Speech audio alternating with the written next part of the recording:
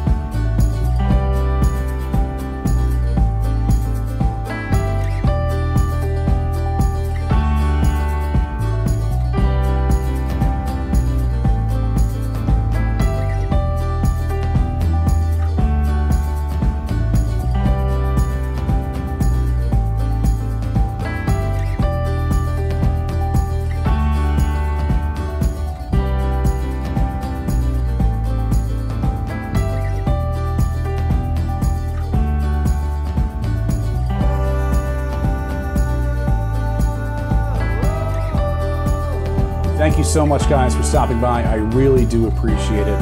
Um, if you don't mind taking an extra second today to subscribe below, share when you can, and finally, if you are looking to buy a home in the Charlotte area, you're looking to sell your property and move elsewhere, um, let me know. Give me a call. My number has been provided, and I'd love to discuss your options. So.